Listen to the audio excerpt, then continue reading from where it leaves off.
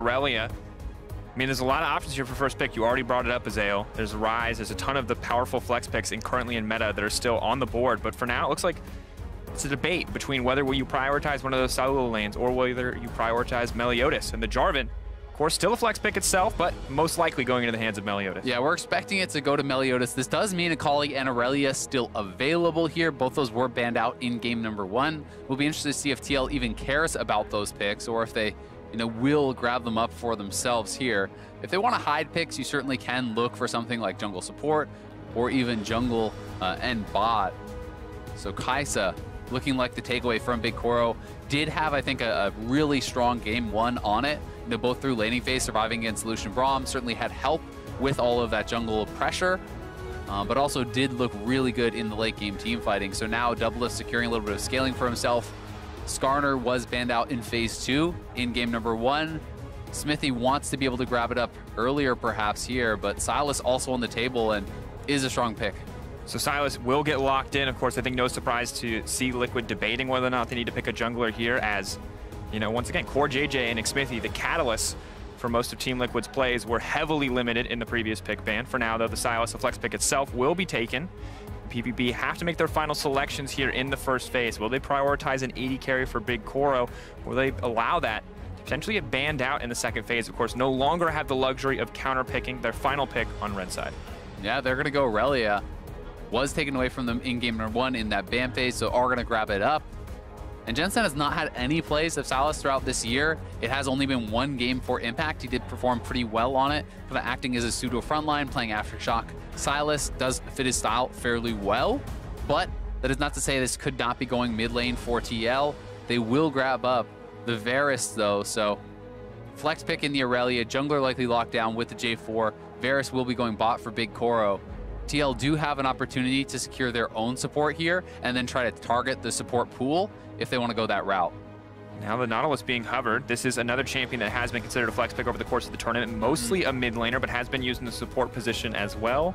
Yeah, and it's going to get locked in. So you are expecting it to be AP Nautilus mid, but as you say, it can be flexed. And, you know, one of the teams that a lot of people were looking at as a potential team to kind of use more of these tanks as they receive buffs is TL, right? This certainly could be a Nautilus top theoretically for Impact. Those buffs do still help that champion in the 1v1. I do believe that Nautilus can do quite fine into Irelia. Very hard for Irelia to actually navigate some of these team fights, to be dashing around through the minions, the passive route, very effective at locking her down for any potential jungle ganks.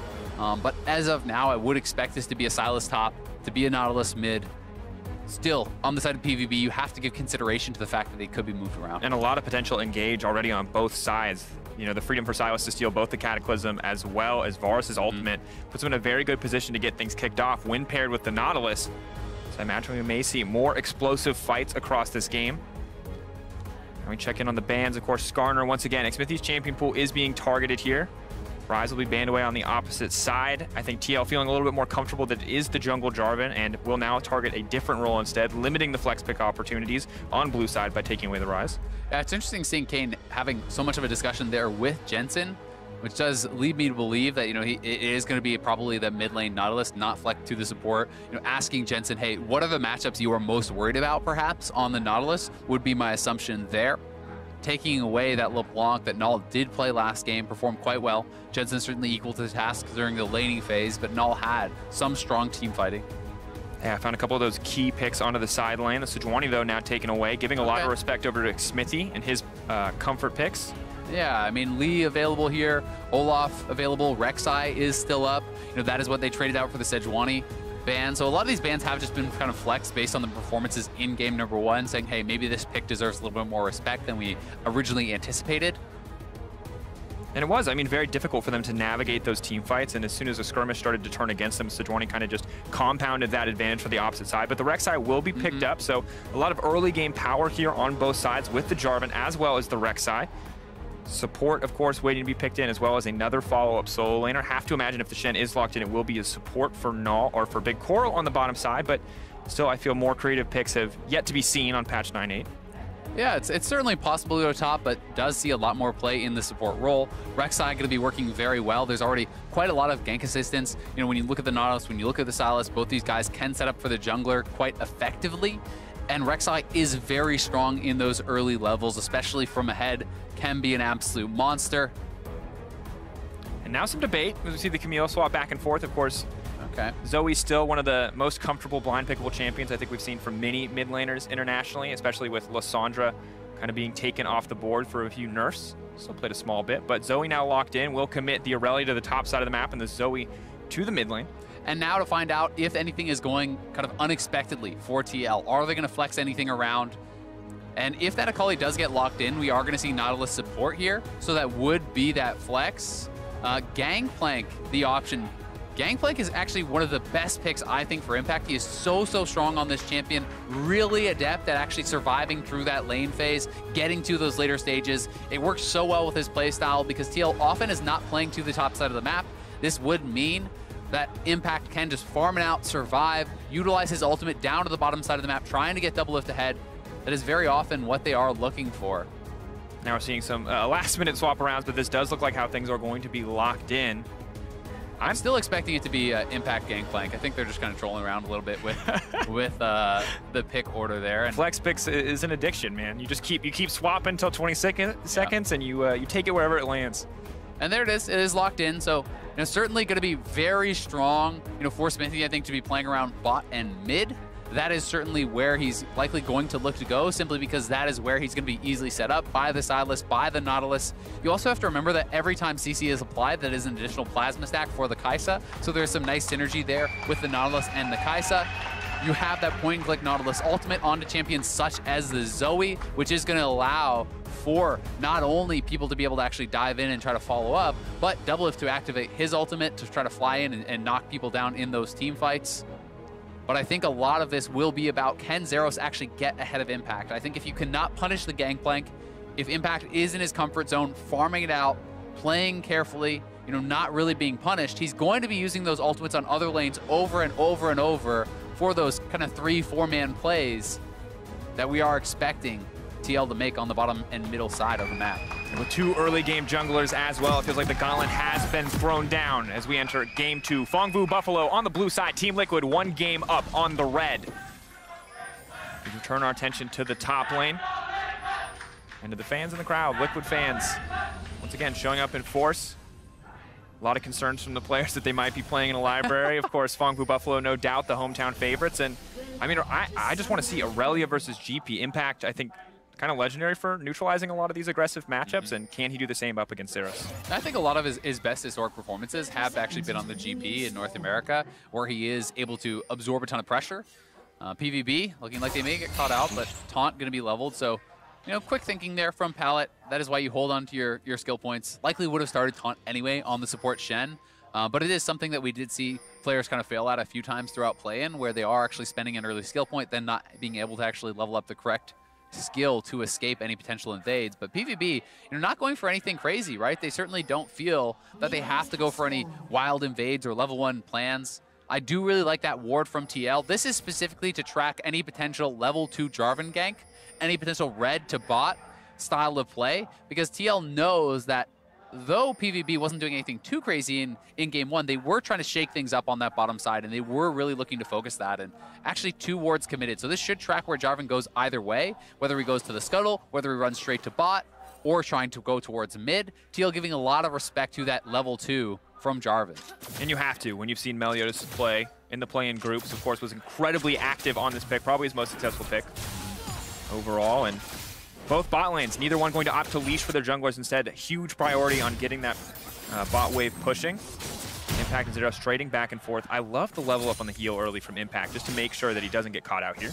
Yeah, I, th I think it is pretty smart. You know, if Irelia is going to start stun, you can just start oranges and kind of walk at him. Uh, he's looking to just proc the grasp as well as that Trial by Fire. The passive, you know, uh, being able to put that on, but Meliodas is up here. Now trying to make his way in. Going to flash to oh. try to extend, but going to fail on the EQ extend, and we'll have to walk away empty-handed. So flash for flash trade in the end. Zero still holding on to his.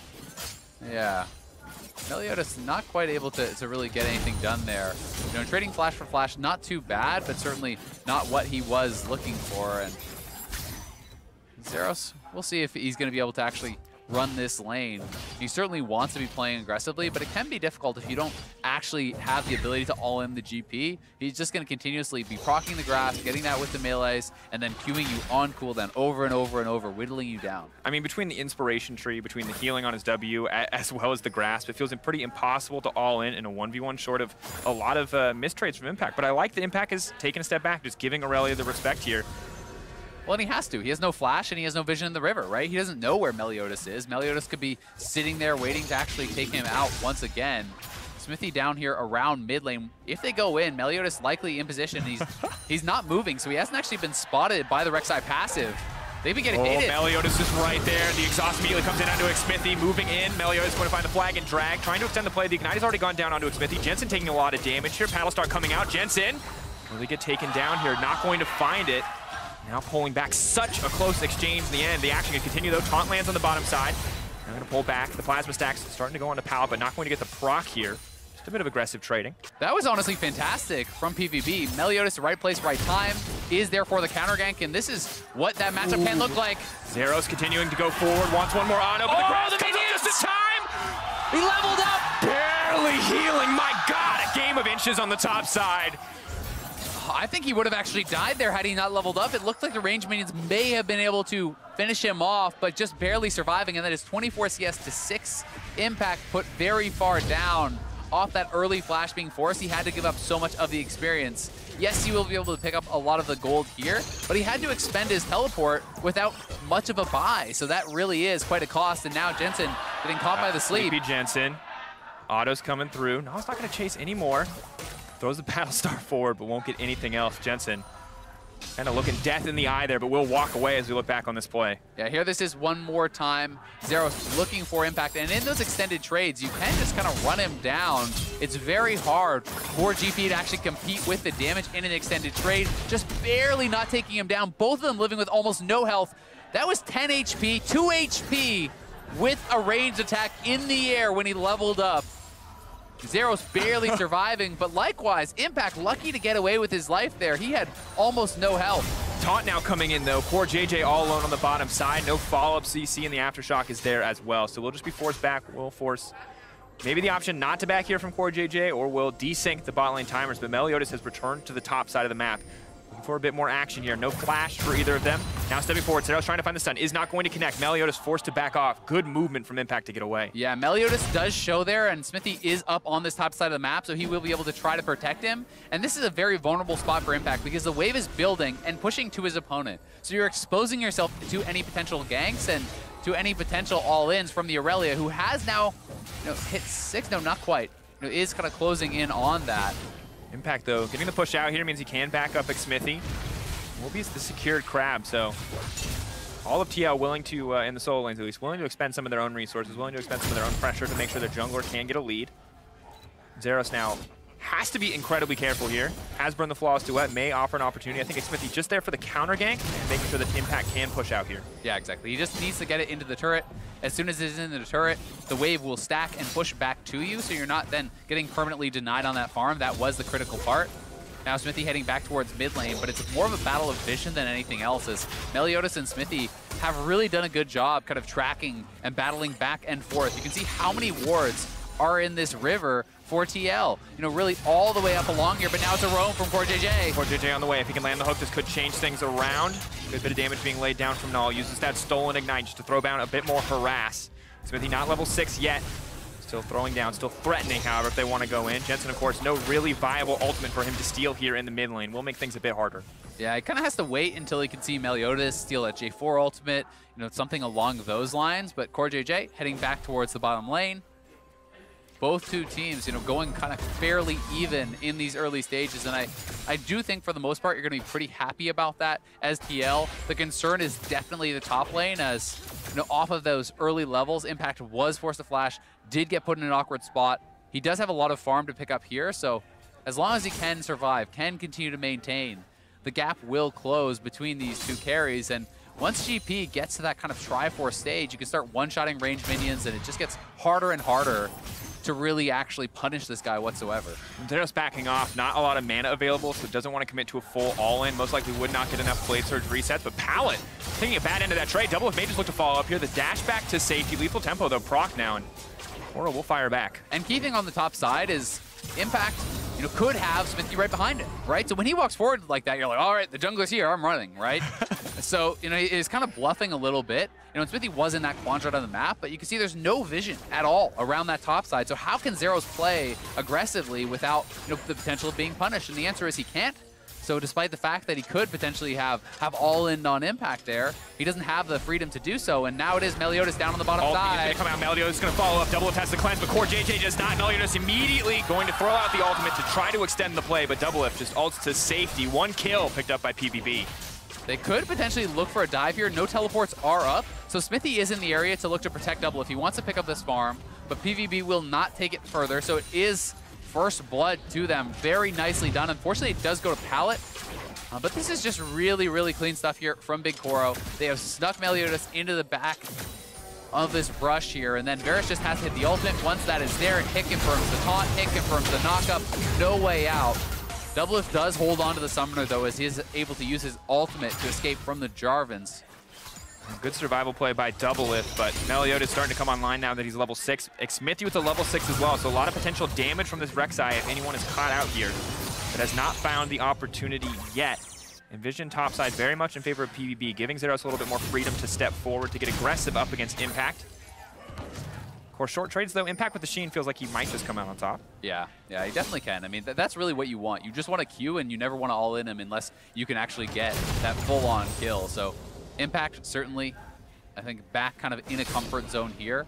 Uh, will be interesting to see if, if he just rushes straight to the Triforce now, or if he actually feels like the matchup does warrant going a little bit more defensive. Sometimes you will see him move towards things like early tabbies, like a Jaurim's Fist for a little bit more survivability, especially against you know J4 plus Irelia, where you're kind of itemizing for both of them at the same time. I think defense itemization may pay off for Impact. Of course, level 6 is now passed for both top laners, so while Zeros has a bit more kill pressure on the lane, Impact really can impact anywhere on the map. Mm -hmm. I think Xmithie going to do what he can. Tries to find some creative gank pathing, but a well-placed ward will spot him out. And you can see Null is actually moving down. Null is, is looking to actually kind of force this out. Xmithie gets an inkling that he may be on vision and does sweep it out. And TL are just going to start up this dragon. They have the ultimate from Impact that will be able to help, so it's kind of like four and a half versus the four.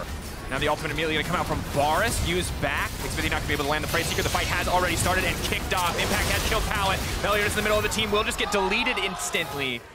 Good fight from the side of TL, knowing they had the advantage there with the GP ult. Yep, they use that GP ultimate. This is textbook TL stuff. They want to force a 4v4, knowing they're going to have the advantage there. Not only do they go two for one, they get both summoners off of Big Koro, so that is actually a huge win for TL. Oh, Null now in trouble. Jensen using the ultimate there, but Null now turning the play. The Shen ult coming out. Jensen needs to get out of here. The flash forward. Palette going to try to find the taunt. Oh! Not going to connect it, but still the kill going down in favor of Null. Yeah, Palette a little bit sloppy there, trying to hit with the taunt flash. Either way, they do clean up that kill. That was critical because it was a huge investment. Not only was it the stand united, it was both summoners from Null and the flash from Palette, so they needed to get that kill. They do it, and they will be able to get a little bit of damage down here. But here's the play one more time. They see Big Koro and Palette stepping forward. They're separated from the squad, so GP ultimate goes down. Nautilus ultimate goes down. See the unburrow on the taunt there from Xmithie. Meliodas moving forward, but he is burst down way too quick, and Big Koro, without the summoners, can't really realistically re-enter the fight. Then one more time, Jensen sees the sleep coming out, is able to dodge and says, hey, I can all in this, and perhaps he could have continued, but Shen ultimate is up. Palette has respawned, and he comes. Palette, you could have just actually finished that taunt. The taunt was going to hit, but he tries to go for taunt. And the action will not continue as Irelia TP's in the flash forward on the ulti, trying to find the reset onto Core JJ. That's going to be 1-2. The Blade Surge is coming out now. Jensen on the retreat, and there's the top lane impact the PVB were waiting for, but only a single kill. Yeah, getting down the support still going to feel pretty nice, and they do make Impact match with his own teleport. They're going to try to turn this into a dragon here, and that would kind of be the larger prize. Having the extra sustain, you know, both for the Varus and the Zoe especially, to have that additional poke, I think can be quite nice. And if Irelia wants to sit side lane, being able to have non-stop mana for those Blade Surgers can help out quite a lot. And now a 1.5k gold lead for PVB. TL, once again, falling behind in some of the early stages of this game. And All just continuing to get scarier and scarier. Still does not have the Ludens completed. Doublelift, though, feeling comfortable on the bot side of the map, has 9 CS to his name, and is just not apparently scared of the individual 2v2 whatsoever. Yeah, I mean, he had already faced and completed his item. He's on Stormrazor, so he knows they don't want to fight. But here it is, Core JJ looking to get some vision, base checks Meliodas, and that means TPs can come in. You can see the TP coming out first from Zeros, then from Impact to Match. Smithy and Impact realizing they're not really going to be able to do much about this fight, so CoreJJ does go down. They do bail out. If it was just the support going down, I think TL is honestly totally fine with that kind of trade of summoners for their support's life, but it is the follow-up Dragon as well, which does kind of make it a bit sweeter for PVB. Yeah, definitely, especially when Irelia has been running completely out of mana, just trying to sustain a push on the top side of the map will make things a lot more threatening for Impact. He does now return to the top side. Of course, a 40 CS difference on the top side of the map. GP, of course, still going to guarantee a lot of late game impact. Uh, I really hate these. I keep walking into that one. But now, action will continue. Xmithie going to be locked up in the Cataclysm. Null is here as well. The jungler will get taken out. Another pick onto Xmithie in the jungle. Yeah, really well done. They're actually taking away the red buff. They're killing him off, stealing away those Krugs now too, and they will back off. They could have potentially looked for a dive. They're actually going to try it now, 4v1. Shen Alt Palette now stepping forward to tank. Impact going to throw down his ultimate. A beautiful flash to make it out to safety, but there's just too many members on the top side. TP coming in as well. Zeros within an inch of his life. Jensen wants to keep the fight going, has the Jarvan ultimate. Meliodas now trying to tank, trying to body block. Doublelift is on the way out as well. Zeros now getting taken down. A beautiful turn by TL. Impact is still alive. CoreJJ here to extend the fight. The Sleepy Trouble level not going to matter because Doublelift is now free, hitting onto Null. The shutdown going through for Jensen and Impact fearlessly stepping forward. He wants another shot at Meliodas. Impact with the monstrous outplay there, 1v3. Null didn't think he was even needed. He's heading back to the mid lane, and they're committing everything from Impact. Massive play there from the TL top laner to survive in a 1v3 to get them very low and it allows TL to fight back, get two more kills. They're going to take a tower and a rift, plus the kills off this, and now they're in a very, very comfortable position. And in the blink of an eye, the gold is evened up. TL now even with a small 300 gold advantage for themselves. They were set to take the Rift Herald, but aren't comfortable enough to do it, knowing that they've burned so many of those cooldowns.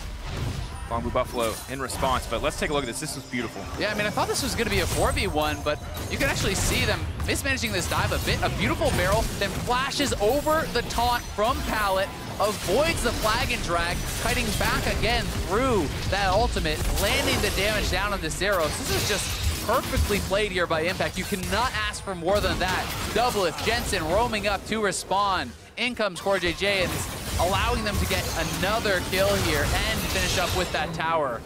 That is a game-changing play there from Impact. Really showing up in this first one. Definitely has, and a game of inches, most certainly. One more skill connected, it may have been a different story, but Impact managed to flash it all, and of course, Last game, a lot of turret plates went down, a lot of trading. Top lane for bot lane towers. This game, it's been a different story. Only three plates total, so neither team can generate too much of a gold advantage from that. Yeah, despite the CS lead for Zeros, Impact's now up in gold.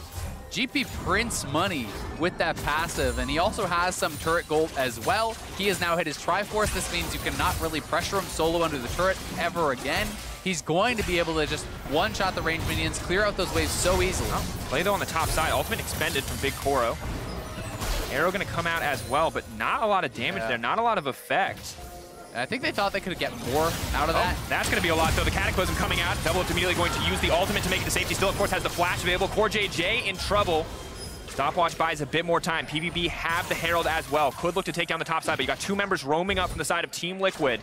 If they keep trying to go for this play, Meliodas is walking into enemy territory. And remember, there's no tower, so they can commit to this. Ultimate coming out from Rek'Sai. Xmithie right in the middle of everyone, but Meliodas immediately going to flash. The GPL coming in. Jensen on the backside, going to continue forward. Jen trying to use Meliodas as an escape route. Will not be able to make it out. The knockout coming in just in time. Absolute destruction. Team Liquid cutting through PVB. Yeah, they committed so much to taking down CoreJJ, and they were able to do it. But again, Impact alting from the side lane contributing from down in that bottom lane.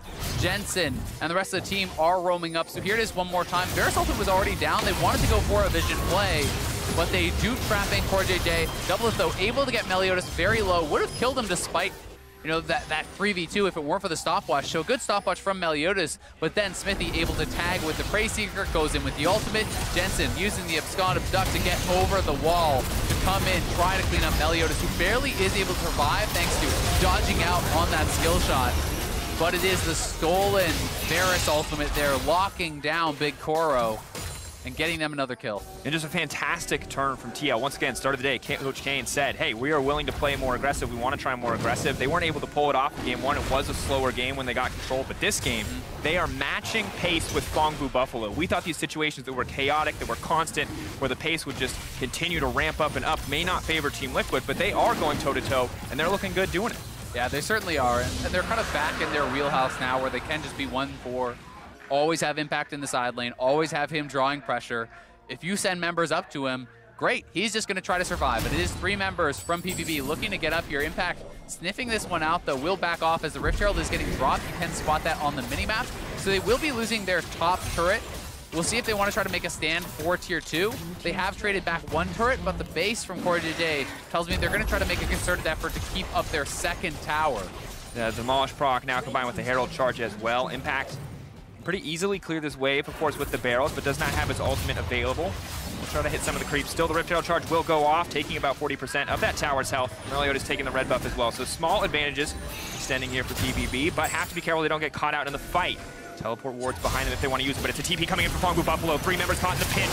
Where's the ulti going to go? Meliodas waiting. Zeros in the midst of the team, but only going to connect on the support. Has to reset, but out comes the Rek'Sai. Palette dashing over to safety with an inch of his life. Double trying to get the fight, but doesn't have the opportunity. PVB so far winning out. Eyes on Double where he's going to go immediately into the backside, but cannot enter any further. Big Koro and Null are untouched. Impact grabs the double, but PVB continue to pressure forward. Yeah, three for two there for PVB. Really nice plays. Double wasn't really with the team. He wasn't able to actually be involved in that fight from the get-go. So despite the fact that Impact had a good ultimate, that he was able to get in there, PVB make the proactive play. They are more together as a team on it. And as a result, come out one kill ahead. And had Doublelift not been able to clean up one additional one, that could have been pretty disastrous for them. But here it is one more time. TL, four men on the top side, moving over. Palette says, hey, we can actually turn on this. The TP's immediately coming through from Zeros, and you can see Double on the minimap. He was out in mid lane clearing the wave, so it's Zoe much faster to arrive. Just now is Double getting here, as two of his teammates have already gone down. He does alt in to try to clean one up, tags Zeros with that W. Really nice shot from him there to get one back, but PVB, another proactive play, does cost them their teleport, but they do go plus one. Impact now with TP advantage, as well as the beneficiary of two of those kills. So in terms of the individual top lane 1v1, things continue to get harder and harder for Zeros. But the rest of PVB do now have priority in the mid lane and will be able to grab the first mid lane tower of the game. The Demolish Clock hits. Smithing Core JJ there to pick up the resources, make sure the double can grab them as well, but nothing else is going to come from play. Yeah, nicely done though. PVB staying proactive. They always seem to know what the next step is, which is something that is really impressing me about them in this series. TL certainly still very comfortable in this position. They have Impact in a great spot where he has been, you know, as you say, the beneficiary of some of these kills. He's still ahead of the Irelia just barely and working towards liking what is that Sterak's, but they're going for an all-in. Been coming out, but the TP already coming in on the opposite side. Palette is here as well. They desperately want to kill Impact before he gets there. Now the a stolen Shen ulti keeping Impact alive. They're continuing to extend the play. Impact will get taken down. And now Jensen is caught in the middle of the team. If he can't use the Kingmaker, he may just go down in the exchange. A lot of initial damage. Jensen manages to turn the play. Palette now in trouble. The turn from Jensen, the double dropping. Huge play coming out of Jensen there. The TP coming through. The Shen ult to buy time. Had Impact had his ultimate up a little bit earlier, that could have been a slaughter. But PVB do get it turned around on them. They do kill off Impact, thankfully for them but they do lose two. They will lose the mid lane turret off the play, and Jensen is getting so, so big on this Sylas. Oh, Big Koro now in trouble. The immediate flash follow, the ulti follow for Double Doublelift, picking up an easy kill in the mid lane. Well played by Xmithie. Meliodas gonna try to turn it back. Null on the way in, but the bubble does not go through the wall. It's gonna turn the shutdown. Coming in, PVB have overstepped. Miss execution as Null does not connect the bubble. Yeah, I don't really think Meliodas had any chance of really making that work, to be honest with you. Yes, there was a Zoe in his back pocket, but that was a, a 3v2. Doublelift still had summoners. He was still basically full on health. There was no one that they could just instantly pick off. Now your jungler is down. TL are going to start up the Baron, and this could again be the straw that breaks the camel's back. They will be moving up, but Zeros on bot side of the map. He doesn't have his teleport. Ooh, Jensen gonna get tagged out there. Hex Flash gonna come over the wall. How we'll see it coming. 2K and dropping the first Baron of the game. Going to go over to Team Liquid, uncontested. Null now needs to retreat. Impact ultimate now coming out. Null running for his life. Jensen going over the wall, finding yet another kill. Eyes on Zeros. Maybe a miracle play, but it's simply too difficult. Too much CC on the enemy team. Will he even try? Will he throw out the ultimate? The rest of the team now coming. Big Koro there as well, but no ultimate for the Varus. And Jensen just slowly whittling away at this health bar. He has to be careful. He gets pulled back to the team. So many blades, reset opportunities, but they're not going to happen. Big Koro, though, remains uncontested. Double Doublelift now going to be in trouble. Meliodas moving forward. Double Doublelift taken out. PvB want to extend this fight The shutdown on the Double Doublelift. Big Koro, though, now going to be in trouble. Impact over the wall. The barrel is there. The Oh. triple kill for the Varus, but Impact finds one back as the barrel takes him down. Does go four for three for TL, plus the Baron there. PvB a bit out of sorts. After that bot lane play did not go their way, trying to overforce in the mid lane does punish them heavily. They've now lost the Baron. It is on impact, which is very critical. It stays up on Xmithie as well, so they're gonna have one Baron with the main squad, wearing one Baron in that side lane also. And TL getting chased down here, they make the call to turn, immediately bursting down Zeros. But Big Koro is untouched critically here and still very, very healthy. So Big Koro flashing forward, knocking down double. This means TL has to retreat. They're looking for the turn, but Impact out of vision, barrel over the wall, knocks him down, does get another shutdown there. And in the meantime, TL did grab a dragon. So extending that advantage and it's going to take big plays, it feels like, from PvB to really get back into this one. And the good news for them, Azael, as Team Liquid are now set to take control with two minutes remaining on this Baron power play, is you know they have a Zoe. They have champions that can set up these big picks, these big moments, but it's going to be difficult. Gangplank continuing to get stronger and stronger at the two-item point. Rek'Sai now, both of them with the Sterak's Gage, going to be very difficult to actually burst out. Yeah, really hard to burst out, and Jensen going to be closing in on his Zhonya's, right? So that makes him harder to take down. Doublelift could very easily go for PD if he's worried about the dive there too. So, you know, the options get harder and harder, and the extended fights should go the way of TL. We'll see, though. There is a Baron buff in two lanes, as expected here from TL. Looks like they want to make the collapse down towards the bottom side, and while Null can certainly get picks on the Zoe, it requires vision. It requires TL to not really be able to see him. So that is kind of what they are missing. They need to create these pockets of vision to be able to get that damage down, and without it, you can expect TL to continue to kind of close in on them and try to strangle out this game. Now they're going to try to extend the play, though. Once again, immediately going to go in. That's going to be the Bladesurge reset. Doublelift, Biggie out over the wall. Impact most likely set to fall, but so much damage coming in from the GP Ultimate. Jensen now on the way in as well. Can't steal away an Ultimate. Big Koro locked up, caught out. The Zhonya's going to fade away, and he will now go down. No chance to get anything as Impact will find yet another kill. Yeah, Teal get a little bit sloppy there and do kind of walk into one of those few pockets where they did not have vision, but they are able to turn around the fight. The Sterak's making it so hard to take down this tanky GP. TL will claim the first inhibitor. Xmithie already pushing in the mid lane for the second inhibitor, and this game's looking done. Stolen Ultimate coming out. Chain CC follow-up is there for Team Liquid. They're barreling down now the bottom side of the map. The Baron empowered minions are there. Zeros immediately eliminated the double kill coming through for Jensen. And while it was shaky in game one, TL have asserted absolute dominance here on the back of so many incredible individual plays in game two. TL will move up to match point in the series. Yeah, very well played game number two here from Team Liquid. Really looking comfortable, and I have to give so much credit to Impact for the pressure he withstood in that top lane, playing incredibly well from a deficit where he was forced to burn his flash very early on in a difficult position where the lane was pushing away from him, where he was going to have to give up a lot of CS, and he does hang on, he does survive, and he was massive in turning around a lot of those fights with the ultimate, and also in surviving the 1v3 that was Yeah, just that dive I think we could rewatch so many times because he dodges so much CC with a single flash, barely manages to survive, and it was absolutely on the top side, a very close. He almost went down to that Irelia all in, did Yeah, not fall. Really lived with 2 HP. He had like maybe 20. it's so absolutely brutal. Well, game two went the way of Team Liquid, and to hear more about how it shook out, let's send it over to the State Farm analyst desk. Thank you, Drakos. The score now sits two to zero in favor of Team Liquid as they pick up another win here. This side, or this time rather, from the red side. Uh, something that jumped out to me immediately, though, in this game was that every single player across the board, all 10 of them, were playing a different and new champion as compared to the first game of the series. So a, a total switch up. How did it play out? Well, that was the weird thing was you saw the draft and you're like, okay, it is a total switch up. They're probably not going to play around bot side that much. You have a Shen and a carry top into a GP, which is the most telegraphed. Like we're going to dive top probably this game, and then it didn't happen. So like it was a very weird like, oh, the draft pivot makes sense, but the gameplay pivot didn't match it. Right. Well, so let's dive straight into some of those replays then. Let's take a look at how things broke down for PvB throughout the game, starting near the Drake. So I just have to throw this one all out there that, like, I understand they like to fight, they like to skirmish. It feels like everything's about this bot lane. Why in the world is PvB fighting on their bot side with their semi-global ultimate? They have a Shen. They fight with the Shen instead of across from it to make access of the advantage of having Shen TP to them. And then you add the extra element onto it. Their top laner doesn't have teleport at the time, and they're against a gangplank. What? What is happening? Like, I totally want to go, yes, when a, when a team throws, someone has to catch it. So all credit to Impact. You did an amazing job. You definitely punished that throw. You smeared, pushed their faces down in it. But ultimately, what was happening with that pathing? Why did no one help Zeros in the top lane? He built like a 40 CS by himself. Where was the dive? I, I don't know. They, I'm tilted. They, they went up there like once pre 10 minutes, and then the, the whole rest of the game plan seemed to be focused around bot lane. And then they finally start putting their their you know top again.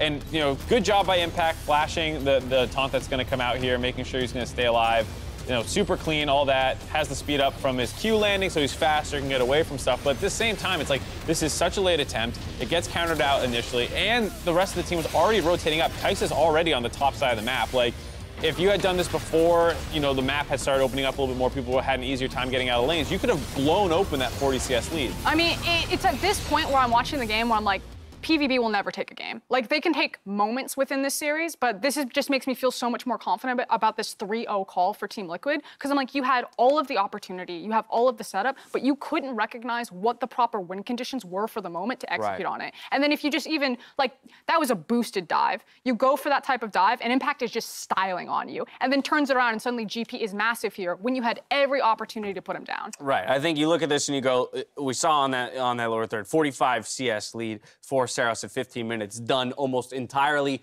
by himself. And at that point is the first time the team plays towards the win condition of strong carry laner into weak carry laner uh, in that sense to try and take advantage of it. And they, that probably could have been the fourth or fifth time in a game if they had chosen to play that way earlier. Yeah, and I mean, they, they, pick up a lot of kills around the map. Well, you can see the skill of the players and, and all that. And, you know, the draft makes a lot of sense too. It's just like when it comes down to like what is the decision making around where you want to spend your resources and where you want to go to? It clearly falls apart because they that was still a pretty close game for you know 15 20 minutes of it despite how much we're criticizing pvb's decision making that's that's the key word for me. It's the decision making because in the reactive 1v1 mechanics we know that pvb's members have it but it's making the right call at the right time.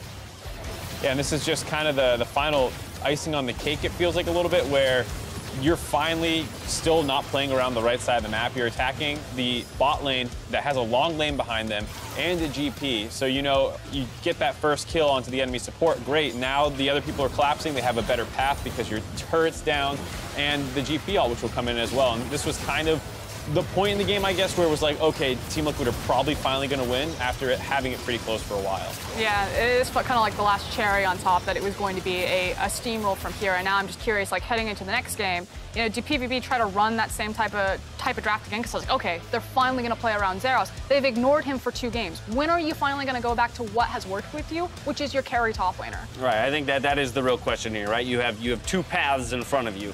Uh, the first is to go back to game one strategy, in which you pick to contest maybe across the board and play towards the bot lane and match TL a little bit more one for one and just try to prove that you are better. Your other option is to is to play what you played here in game two, but actually make decisions that align with you know the the arsenal of weapons that you've armed yourself with. And I I don't want to spoil this. Did Team Liquid choose uh, blue side? Blue side. Okay, so I mean it's going to be a different draft, but now you have the red side uh, last pick advantage, so you can potentially find something top lane to try and exploit to re- repeat that style. But there's no way he's there's not a guarantee he's going to play GP again, so he can play something more stable and be like, okay, well you can't beat us by going bot. You didn't go top enough here. Like, I don't know what you want to do. Unfortunately, I feel like, at least in this series and on this day, that if PvB start to run away with the game, it's because Team Liquid made the wrong call and pushed into them instead of just backing up. Because I feel like throughout yeah. this entire series, it, it's TL that are saying, let's fight this, let's not fight this. And their decision making is what's lowering the variance on kind of the volatility of these matches. And I mean, the story for Team Liquid for this, this whole split for them has always been like, well, we don't make the big mistake. Right. You know, they almost never make the big mistake. And so these games get a little scrappy. We've seen this time and time again. And then the enemy team makes the big mistake, and Team Liquid just obliterates you at that point. Team Liquid, that's been their MO all season is like, you'll get some shots in at us, but you will never beat us at 25 minutes when we're in control. And so that's what's happened two games in a row, and they don't seem to be making those big mistakes like Frost is saying. So it does feel like the third game is, is a tough battle for Phong Vu. Very much so. TL has some cushion with that 2-0 lead for Phong Vu Buffalo. They got to put three together, just like Team Liquid did in their regional finals. Team Liquid are one win away from earning their spot in groups. We'll see if